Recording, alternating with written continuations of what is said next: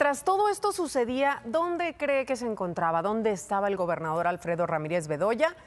Pues estaba en un concierto sinfónico, él, padrísimo, pasándosela, un concierto de Star Wars, imagínese.